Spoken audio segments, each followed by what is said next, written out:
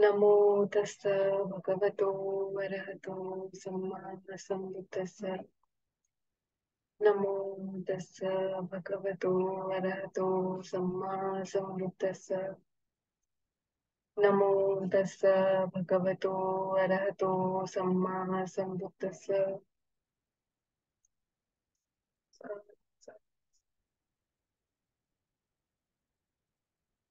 Okay, today uh, I'm going to read a sutta called Sangarava Sutta. I'll share my screen so that everybody will be able to follow. Okay. Uh, do you want me to share the link or you can follow it here? Okay.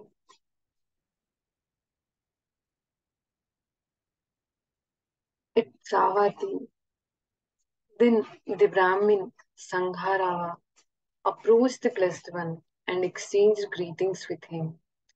When they had concluded their greetings and cordial talk, he sat down to one side and said to the Blessed One, Master Gautama, what is the cause and reason why sometimes even those hymns that have been recited over a long period do not recur to the mind, let alone those that have not been recited?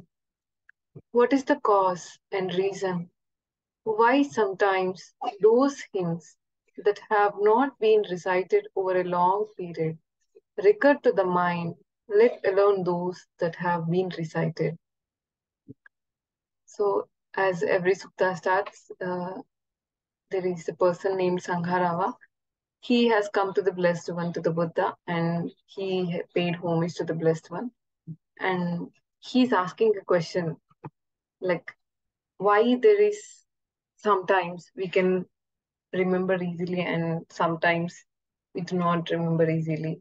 And the word hymns is uh, normally in English, in Hindi here in India, it's called bhajan or uh, spiritual poems that are being like recited, repeated at the spiritual gathering. And uh, sometimes we can remember easily, sometimes it's not.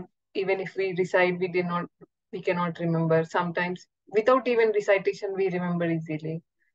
And he's asking why? What is the cause and what is the reason? He's asking to the Buddha. So now the Buddha answers Brahmin, when one dwells with a mind obsessed by sensual lust, overwhelmed by sensual lust, and one does not understand as it really is the escape from arising sensual lust. On that occasion, one neither knows nor sees as it really is one's own good or the good of others or the good of both, then even those hymns that have been recited over a long period do not recur to the mind, let alone those that have not been recited. Okay, uh, here Buddha is saying, when the mind has been obsessed by sensual lust and has engaged in sensual lust, then they do not know and understand the escape from the arising sensual lust. On that occasion, then when there is the mind is like hijacked or in sensual lust, then they cannot know what is good for them, good for others, or good for both. And then in that, when the mind is involved in that sensual lust, then they cannot remember what has been recited over a period, then let alone those that have not been recited. Uh, in this sutta, the uh, Buddha gives similes for each kind of hindrance that we are going to experience. We'll read. Suppose, Brahmin, there is a bowl of water mixed with lac, turmeric, blue dye, or crimson dye. If a man with good sight were to examine his own facial expression in it, he would neither know nor see.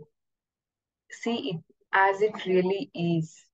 So too, Brahmin, when one dwells with a mind obsessed by sensual lust, overwhelmed by sensual lust, and one does not understand as it really is the escape from the sensual lust, on that occasion, even those hymns that have been recited over a long period do not recur to the mind, let alone those that have not been recited.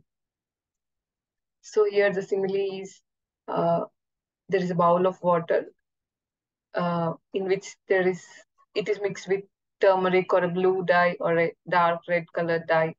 And if a person with good eyesight sees his reflection, he will not be able to see because the water has been mixed with the dye.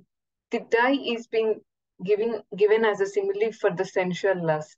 When our mind is obsessed with sensual lust, or if the mind is engaged in sensual lust, sensual desire, then we cannot know our own reflection, what we are doing.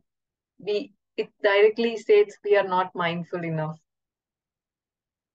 Then we do not we cannot remember what was recited over a long period and let alone those that we have not been recited. Again, Brahmin, when one dwells with a mind obsessed by ill will, overwhelmed by ill will, and one does not understand as it really is. The escape from arising ill will. On that occasion, one neither knows nor sees. It nor sees as it really is one's own good or the good of others or the good of both. Then even those hymns that have been recited over a long period do not recur to the mind let alone those that have not been recited so this is the second hindrance that comes up in the hindrances that is the ill will. So when the mind is engaged in ill will, one does not know what is the escape from it, how to do 6Rs, or they don't have like want to let it go. But when there is the mindfulness, then they can. But here, when the mind is engaged in ill will, having like in the proliferation, then they don't know the good that what's good for them or what's good for the others or what's good for both of them. Then in that case they cannot remember what has been recited over a long period. And let alone those that have not been recited. Even for us when, uh, when we are in our daily activities when we are practicing active meditation sometimes we do not remember to 6R even though we have been practicing, our mind would have gone into hindrances. Suppose, Brahmin, there is a bowl of water being heated over a fire, bubbling and boiling. If a man with good sight were to examine his own facial reflection in it, he would neither know nor see it as it really is. So too, Brahmin, when one dwells with a mind obsessed by ill will and one does not understand as it really is the escape from the arising ill will. On that occasion, even those hymns that have been recited over a long period do not recur to the mind, let alone those that have not been recited. So the simile here is the same, uh, like a bowl of water, which is boiling, which is heating over the fire. Then when a man with a good sight, when he tries to examine his own facial reflection, then because the water is boiling, he cannot able to see what's good, what is good for others. He cannot see his own reflection. The boiling of the water is given for, as a symbol for the ill will of our mind. In that case, then he do not know he cannot remember what has been recited over a long period. Again, Brahmin, when one dwells with a mind obsessed by sloth and torpor, overwhelmed by sloth and torpor, and one does not understand as it really is the escape from the arising sloth and torpor. On that occasion, one neither knows nor sees as it really is one's own good or the good of others or the good of both. Then, even those hymns that have been recited over a long period do not recur to the mind, let alone those that have not been recited. Here, the third sen- third hindrance, that is sloth and torpor. When the mind is being occupied with sloth and torpor, then one does not know the escape, that is to let go of it. They are unable to get out of that sloth and torpor when they are in it. But once there is mindfulness, they can. When they are in, when the state of mind is in sloth and torpor, then he cannot know what is good for his own self or good for others and what is going good for the both. In that case, he will not remember that has been what has been recited over a long period, let alone those that have not been recited. Suppose, Brahmin, there is a bowl of water covered over with, a, with water plants and algae. If a man with good sight were to examine his own facial reflection in it, he would neither know nor see it as it really is. So too, Brahmin, when one dwells with a mind obsessed by sloth and torpor, overwhelmed by sloth and torpor, and one does not understand as it really is the escape from the arising sloth and torpor. On that occasion, even those hymns that have been recited over a long period do not recur to the mind, let alone those that have not been recited. So here the simile is given for the sloth and torpor as the bowl of water that has water plants and algae. When one man looks at his reflection in that bowl, he cannot see it clearly and he cannot know what is good for himself, good for others. And because his mind has been like obsessed with this sloth and torpor, he cannot remember what is has been recited over a long period. Again, Brahmin, when one dwells with a mind obsessed by restlessness and remorse, overwhelmed by restlessness and remorse, and one does not understand as it really is the escape from the arising restlessness and remorse. On that occasion, one neither knows nor sees as it really is one's own good or the good of others or the good of both. Then, even those hymns that have been recited over a long period do not recur to the mind let alone those that have not been recited. So this is the fourth hindrance that uh, we normally experience. It's not like fourth, one along among the type of hindrances. This is restlessness and remorse. So when the mind has been occupied with restlessness and remorse, then one cannot understand the escape from it.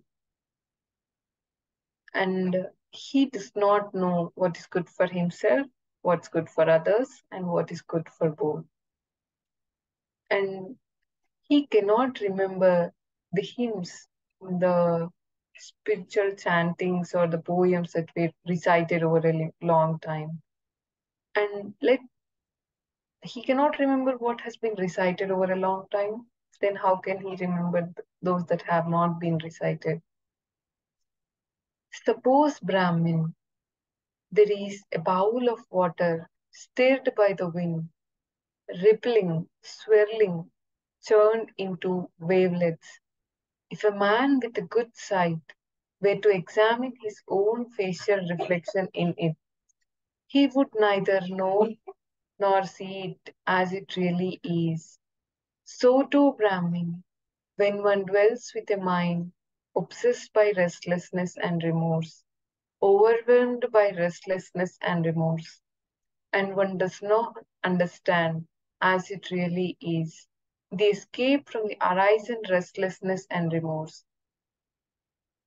On that occasion, even those hymns that have been recited over a long period does not recur to the mind, let alone those that have not been recited. So here the simile for the restlessness and remorse is a bowl of water that is being stirred up by the wind or maybe churn and making wavelets. Then when a person looks at his own reflection in that bowl of water, he will not be able to see because the water is swelling and there are waves that have been formed. Then he cannot know there is an escape from it. And his mind is obsessed, and because of that, he cannot recollect what's good, what's bad, and uh, he cannot remember what has been recited over a period. Again, Brahmin, when one dwells with a mind obsessed by doubt, overwhelmed by doubt, and one does not understand as it really is the escape from the arising doubt. On that occasion, one neither knows nor sees as it really is one's own good, or the good of others, or the good of both. Then, even those hymns that have been recited over a long period do not recur to the mind, let alone those that have not been recited. So, this is the fifth kind of hindrance. So, when one's mind is occupied by doubt, then there is no understanding of what is good for himself, what is good for others, and there is no mindfulness that is being established because the mind is involved so much into the doubt. So he cannot remember what has been recited over a long period. Suppose, Brahmin, there is a bowl of water that is turbid, unsettled, muddy, placed in the dark. If a man with a good sight were to examine his own facial reflection in it, he would neither know nor see it as it really is. So too, Brahmin, when one dwells with a mind obsessed by doubt, overwhelmed by doubt, and one does not understand as it really is the escape from the arising doubt. On that occasion, even those hymns that have been recited over a long period do not recur to the mind, let alone those that have not been recited. So, for the mind obsessed with doubt, Buddha has been given a simile with a bowl that is full of water and is turbid.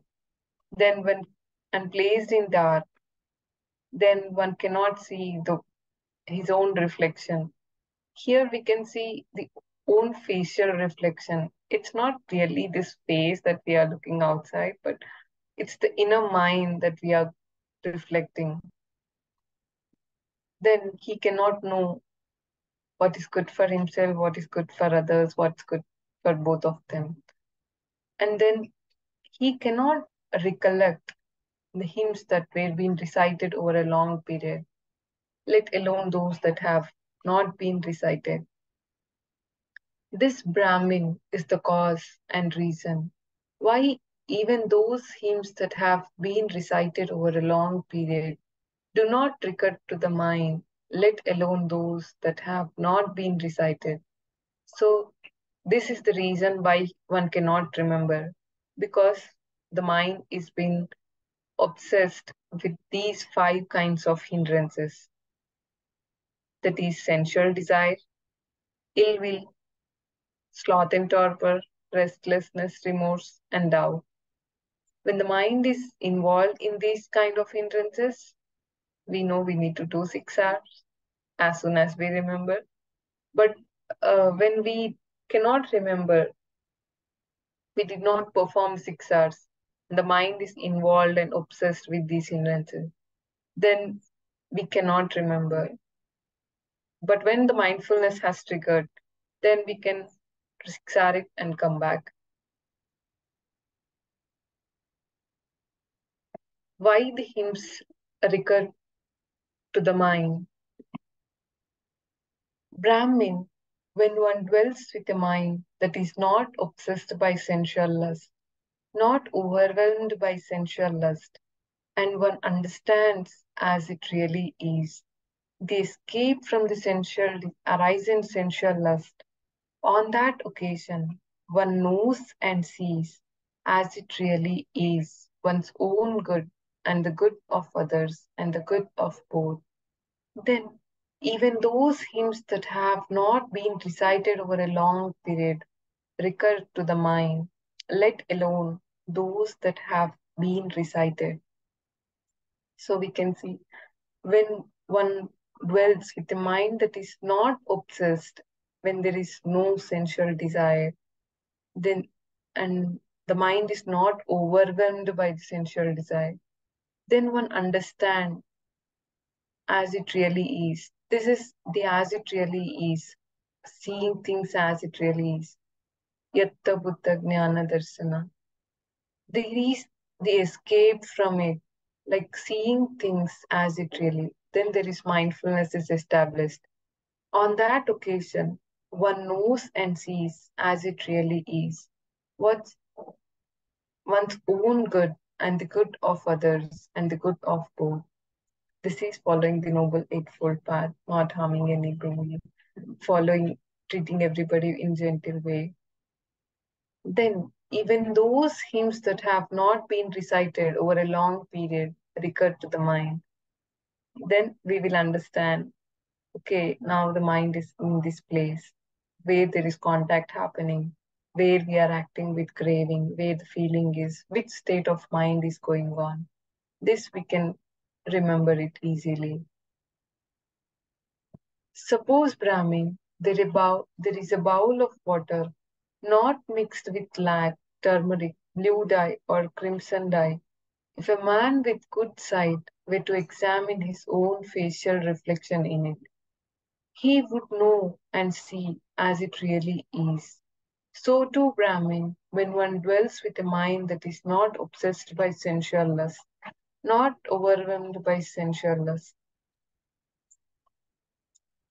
And one understands as it really is the escape from the arising sensual lust. On that occasion, even those hymns that have not been recited over a long period recur to the mind, let alone those that have not that have been recited. So here we can see it's the opposite similes that have been given here. When the mind is obsessed with sensual lust, then a bowl is mixed with lac, turmeric, or a crimson dye or a blue dye. Then one cannot see their reflection. But the what when the bowl of water has not mixed with all these three, like turmeric, blue dye, or crimson, then one can when one has a good sight and examines their own facial reflection, then he can see what is really the state of mind is. If it is obsessed with, if it is not obsessed with sensual desire, then he knows that it is not obsessed with sensual desire. And he knows that it is good for himself, it is good for others, and it is good for both. On that occasion, then in that case, he can recollect the hymns that have been not recited over a period, let alone those that have been recited. Again, Brahmin, when one dwells with a mind that is not obsessed by ill will, not overwhelmed by ill will, and one understands as it really is the escape from the arising ill will, on that occasion one knows and sees as it really is, one's own good and the good of others and the good of both.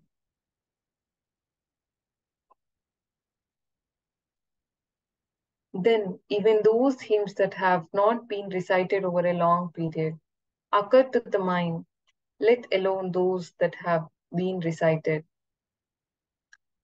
So, this is the case where the mind is not obsessed by ill will. Then he understands that the mind is not obsessed by will. And he knows that it's good for himself, it's good for others, and it's good for both. Then, in that case, he can re remember or recollect the hymns that have been not recited over a long period, let alone those that have been recited. Suppose, Brahmin, there is a bowl of water, not heated over a fire, not bubbling, not boiling. If a man with good sight were to examine his own facial reflection in it, he would know and see it as it really is. So too, Brahmin, when one dwells with a mind that is not obsessed by ill will, not overwhelmed by ill will, and one understands as it really is, the escape from the horizon ill will. On that occasion, one, one, one, on that occasion, even those hymns that have not been recited over a long period recur to the mind, let alone those that have been recited. So here this is the simile where the bowl of water, which is not boiling, then if a man with a good eyesight examines his own reflection, then he could see it as it really is, like knows what the state of mind is, that he there is no ill will in present in the mind. Then when he sees things, the reflection as it really is, then the, the mind is not obsessed with ill will. In that case, he can recollect what has not been recited, let alone those that have been recited. Again, Brahmin, when one dwells with a mind that is not obsessed by sloth and torpor, not overwhelmed by sloth and torpor, and one understands as it really is the escape from the horizon sloth and torpor. On that occasion, one knows and sees as it really is one's own good and the good of others and the good of both. Then, even those hymns that have not been recited over a long period recur to the mind, let alone those that have been recited. So, this is the third type of hindrance that we can experience. That is the sloth and torpor. When one's mind, when one's mind is not obsessed with sloth and torpor, then he can know and see as it really is. Like have having established mindfulness, knowing that the mind is free from sloth and torpor, and knowing that it's good for himself, it's good for others, and it's good for both, then he can remember those hymns that have been not recited over a long period, like alone those that have been recited. Suppose, Brahmin, there is a bowl of water not covered over with water plants and algae. If a man with good sight were to examine his own facial reflection in it, he would know and see it as it really is. So too, Brahmin, when one dwells with a mind that is not obsessed by sloth and torpor, not overwhelmed by sloth and torpor,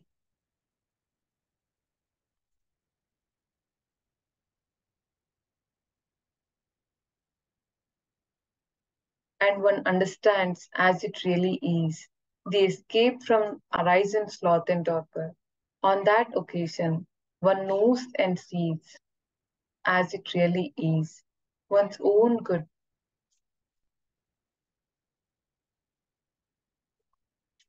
On that occasion, Even those hymns that have not been recited over a long period recur to the mind, let alone those that have been recited. So when the mind is obsessed with sloth and not obsessed with sloth and torpor, and having established mindfulness, here the Buddha has given the simile of a bowl of water with not covered with water plants and algae. Then when a person with a good sight, when he sees his own reflection, he sees exactly what the state of mind is. And he knows that the mind is not obsessed with sloth and torpor.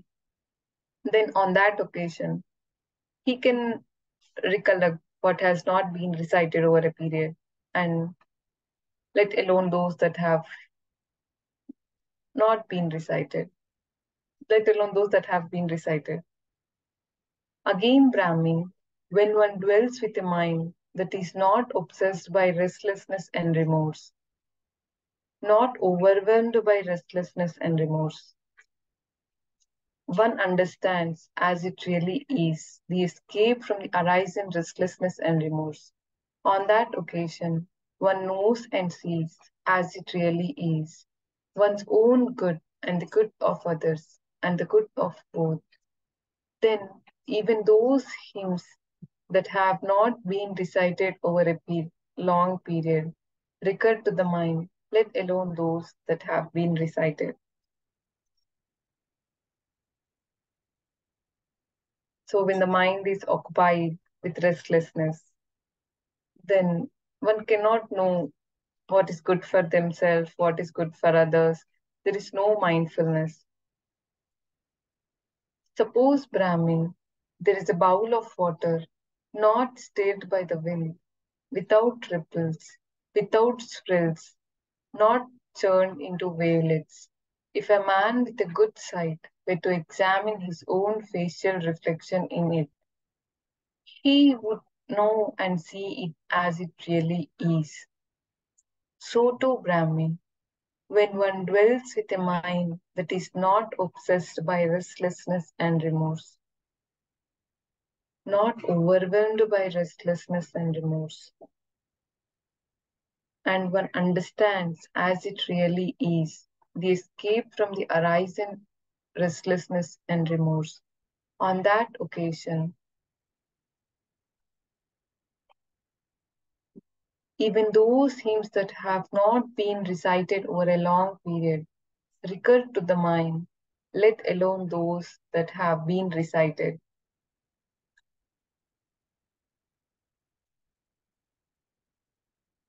So, what happens when there is a bowl of water and one cannot, uh, that is not stirred up by the wind, and there is there are no ripples, and there is no swells or there are no wavelets?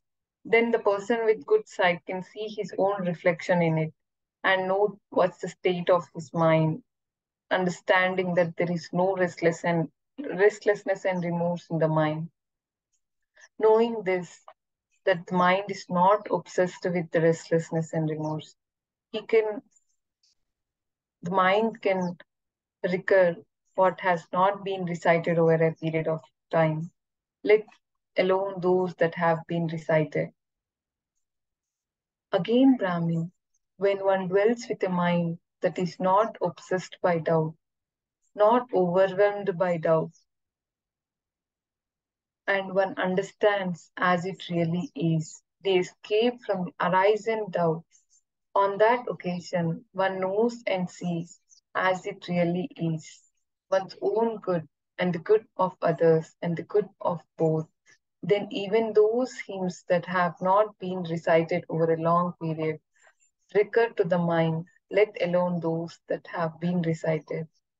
This is the fifth type of hindrance that that is doubt. When one mind is not obsessed with doubt, then he can know what's good for himself, what's good for others, and what's good for both. And when the mind is not obsessed, then he can recollect what has been recited over a period easy what has not been recited over a period. And he can remember the recited ones easily. Suppose, Brahmin, there is a bowl of water that is clear, serene, limpid, set out in the light.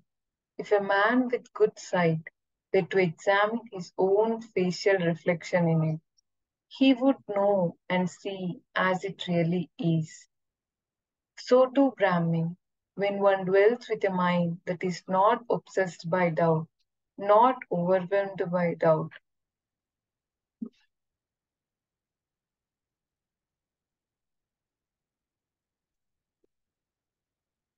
and one understands as it really is the escape from the horizon doubt.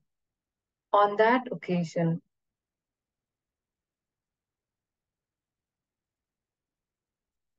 even those hymns that have not been recited over a long period recur to the mind, let alone those that have been recited. So here the simile is the bowl of water that is clear, serene, limpid, set out in the light. Then a man with a clear eyes, clear vision can see his own facial reflection in it The understanding that there is no doubt present in him. He knows that there is no doubt present in him. Then on that occasion, he can recollect, can remember the hymns that have not been recited over a period. This Brahmin is the cause and reason why even those hymns that have not been recited over a long period recur to the mind, let alone those that have been recited. So this is the reason when the mind is not occupied with any of these five hindrances, then one can, one's mind can recur the hymns that have not been recited over a period easily. These seven factors of enlightenment Brahmin are non-obstructions non-hindrances, non-corruptions of the mind. When developed and cultivated, they lead to the realization of the fruits of true knowledge and liberation. What 7. The enlightenment factor of mindfulness is a non-obstruction.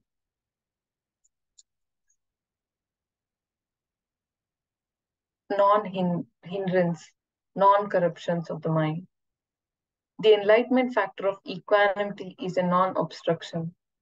The seven, the enlightenment factor of mindfulness, the enlightenment factor of investigation is non-obstruction.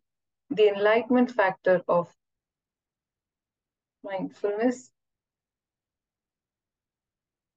I'm just recollecting, my mind is so much into hindrances now mindfulness investigation, and then the enlightenment factor of energy is non-obstruction. And mindful enlightenment factor of mindful enlightenment factor of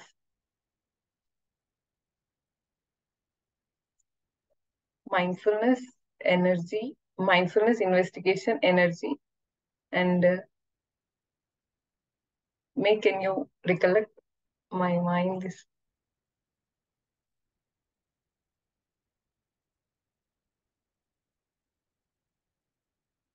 maybe I have not done enough homework. uh, yeah, so uh, same here. I have the same problem. So I Googled. Uh, so the seven factors are uh, mindfulness, sati, then keen investigation of the Dhamma, Dhamma Vichaya, uh, energy, virya, uh, rapture, uh, rapture is not a good translation, happiness, uh, piti, uh, calm, passaddhi, uh, and then samadhi, collectedness, and, and finally equanimity. Yeah, equanimity, upekkha. The enlightenment factor of mindfulness is non-obstruction. The enlightenment factor of energy is a non-obstruction. The enlightenment factor of energy is non-obstruction. The enlightenment factor of joy is non-obstruction. The enlightenment factor of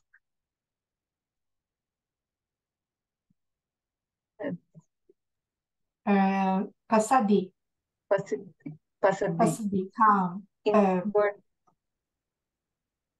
calm is non-obstruction and the enlightenment. The enlightenment factor of collectedness is a non-obstruction and the enlightenment factor of equanimity is a non-obstruction, non-hindrance, non-corruptions of the mind. When developed and cultivated, they lead to the realization of the fruit of true knowledge and liberation. When this was said, the, the Brahmin Sangarava said to the Blessed One, Magnificent Master Gotama, magnificent Master Gotama, from today let Master Gotama remember me as the lay follower who has gone forth for refuge for life. So when the mind is not in these hindrances, and when we are cultivating the seven factors of enlightenment, which are non-obstructions, which are non-hindrance, which are non-corruptions of the mind, then, then we are cultivating the path to the realization of liberation, that is Nibbana. Uh, I like this sutta when I first heard it because it gives us state of mind that we are in. Like if the mind is in ill will, then immediately, okay, now the mind is having boiling water, or maybe it's dyed. Maybe state of mind is now having waves pattern, or maybe it's not, it blurred the vision, it's having doubt it having no clarity of seeing things as it is. It gives a, a outer picture for us to see, like reflect how the state of mind is. If it's obsessed, if it's in hindrance, we can see we cannot see the reflection clearly. But when we know that okay, now the mind has been occupied, then we can do the 6Rs easily. And there is always four noble truths covering in all any of the suttas. Some mostly all the suttas have the four noble truths. And here, when I was reading the sutta, I was looking for the same thing. And when one dwells with a mind obsessed by sensual lust or sensual desire or any of the hindrance, then this is the suffering then when does not know as it really is, the escape from the arising sensual lust, when he cannot recognize, but when he can recognize the origin, when we come to this part, when one understands as it really is, the escape from the arising sensual lust, sensual desire. This is the, okay, now there is suffering present, then we know the origin, that the sensual desire is the cause of suffering, then one knows that there is the cessation of it, that it has not been there, but uh, it was there, now it's gone. When we 6R it, when we see the reflection that it's clear now, then there is the cessation of suffering that is happening. And the escape from the arising sensual lust or sensual desire this escape is the Noble Eightfold Path. This is the fourth Noble Truth. And this is what I would like to read today. Anybody has any question or any reflection or want to share anything from their own practice or how their practice is going?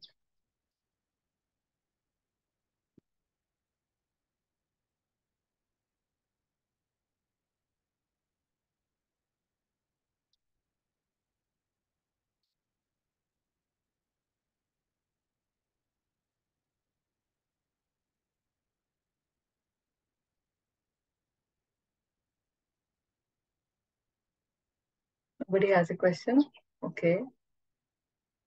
May you have a question? Yes. Yeah, I have a question just out of curiosity. So here, um, the Buddha mentioned a direct correlation with the hindrances and the ability to um, uh, remember hymns or spiritual poems. I wonder if it um, also applies to uh, our capacity to learn. Um, so to learn anything really, you know, I, I can't help but wonder if because a, a lot of the the more the more we look into the text, if we really look at how the Buddha used um, um, repetition uh, and and um, the oral tradition. Um, so obviously he he discovered something about how the brain and the mind works. So every every time I'm reading the sutta, like I can't help but think from a, a scientific point of view, whether you know. Um, um, so I'm I'm just thinking because I I teach uh, kids music, right? And um, mm, it's it's not that the kids are not intelligent, but because there is so much um, more exposure to media and television and, and YouTube and internet, etc., uh, I myself included, I find that the, the kids have a sh- even shorter attention span now and the the mind is um, uh, not all but some um, especially the older ones so approaching um, teenage. Um, the tendency of the mind to go dull uh, is quite clear. So not not only that they have a shorter attention span or cannot really absorb um, and and it's not only during the music lesson at school as well. So it, it's it's a habit of the you know and the the the, the trouble also is in schools um, i remember dr madhusudan said that in in india things are changing now. But for the kids that i teach there is no habit of asking questions in the classroom. So on the one hand there's no habit of asking questions. On the other hand, they don't even know what to ask because the the mind has gone to a, a, a dull like state, not sharp anymore. And I can see that because when I'm teaching them, they they zone out within 30 seconds. Some of them, not all of them. Yeah. Truly, even in my experience, when the mindfulness is right, uh, wherever things we keep or if there is some activity that i'm doing if there is something that's important i have placed it somewhere. If the mindfulness is right if the mind is not gone into any hindrance then i can remember it clearly. Anytime you ask me even if, if you wake me up and ask where these things are then the mind will straightly recur like it will point out exactly where it was left so it's not only to the hymns or I think it applies to like every anything that's even to the Dhamma talks, even to in the work that we are doing, even at our office. If the mindfulness is established, knowing that the mind is not having hindrances, if it's having a hindrance, then we 6R it and we come back to what we are doing. Then it's get easier. It makes our practice more harmonious. It like helps our lifestyle. We can remember things easily. We can like practice the 6Rs. And mostly it helps our mind to be collected on one point as you said because nowadays, even when I start using social media, maybe there when you see YouTube shorts or what's happening is, okay, now for one point, at least for 30, 40 seconds, your mind has one other concept. But when you scroll, there is another concept. What happening in this process is we are training our mind to not rest even for 30 seconds in any of that object. So this is the reason. Because of that, most of the people in this like generation, this modern world, cannot like make their mind be collected or rested in one particular place. And we are fortunate enough that we are practicing meditation. And even if I scroll, okay, now I have done enough. My mind will say, okay, you have scrolled three or four now. You are going deep into it. You will not have mindfulness enough. And it just grabs our mind into it. It's like a trap. Your mind just gets hijacked into it. And when you come out of it, and when you come into come back to the present moment, mind just can feel the difference. It's completely different because it's like getting absorbed into that part. And when you come back, mind experience is released again. It's just okay. Now it's enough. We just let go of it and come back to the present reality. Seeing that, okay, if there is hindrance, if the mind goes into the thoughts, we keep on practicing those 6Rs. And I personally feel this mindfulness, the practice of 6Rs, and it's very much practical in all the aspects, like the Eightfold Path is so wonderful when practiced together with the 6Rs, with the right effort, right livelihood, keeping the precepts, practicing meditation. And it's not only limited to the sitting meditation, rather, it's all time practice. And the way Bhante gave life is meditation and meditation is life book. It the first time when I like read uh, heard the phrase life is meditation, meditation is life. Okay, how can this person say that life is meditation? But when I was practicing before, not even started the practice very well, then I said, okay, but meditation is something different and life is completely different.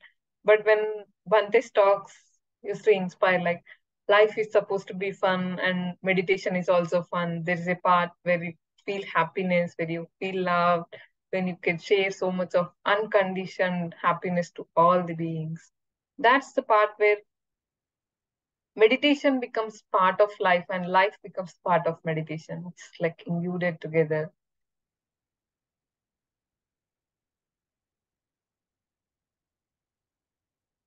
Mm, thank you. Sadhu, sadhu, sadhu. Thank you, Sindhuji. Thank you. I would I would like to add something. Yes. Actually, please. yesterday actually yesterday was uh, the day to uh, that Diwali festival started in India.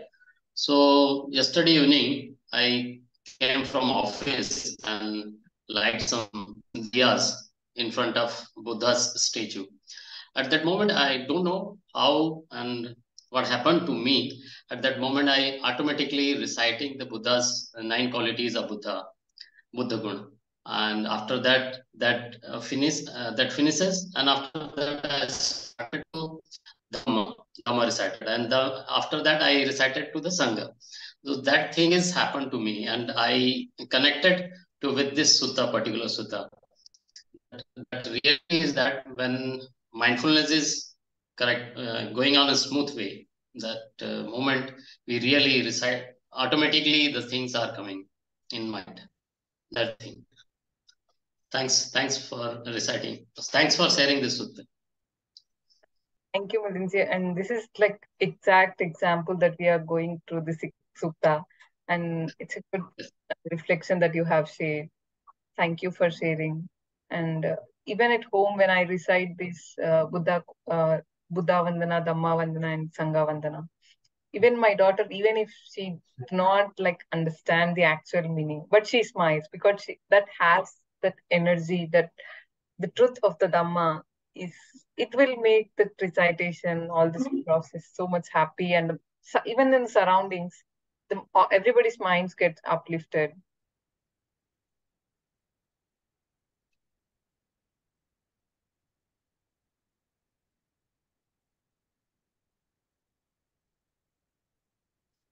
Okay, anybody else want to add anything? Maybe share their experience. If not, we can share the merits.